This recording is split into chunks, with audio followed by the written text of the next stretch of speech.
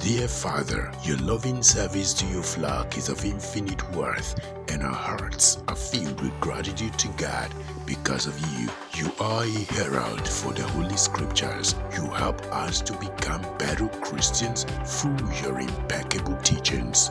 Your wisdom and guidance is such a staple in our lives, and we appreciate all that you do. Thank you for being there for us through good times and bad birthday celebration. On behalf of Omega Fire Ministries Calgary, Pastor Ify and Pastor Mrs. Chika Daniels A says happy birthday to our father, mentor, and coach, the Restoration Apostle Professor Johnson Suleman.